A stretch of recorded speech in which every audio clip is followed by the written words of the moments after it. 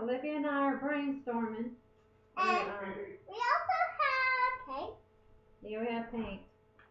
Olivia's done the paint.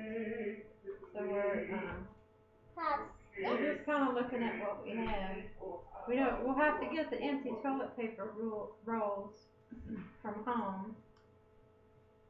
Markers, crayon, clear tape, and glue. and water. So we'll get that together, yeah. So we'll probably think about it and, um,